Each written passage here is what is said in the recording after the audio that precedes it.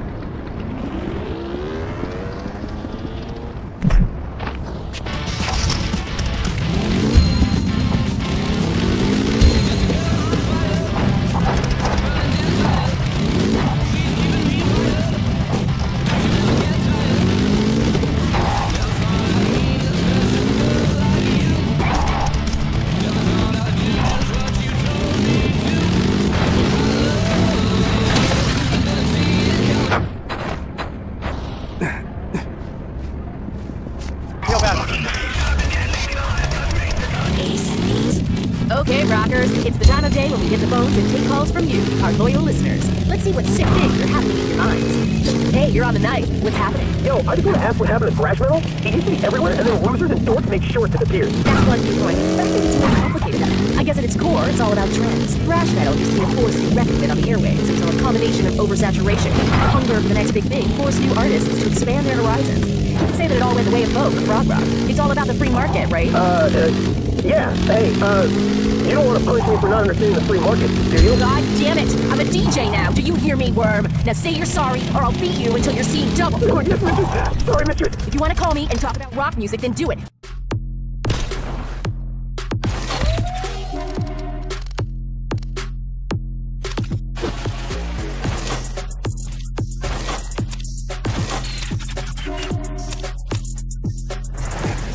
If not, stay off my phone.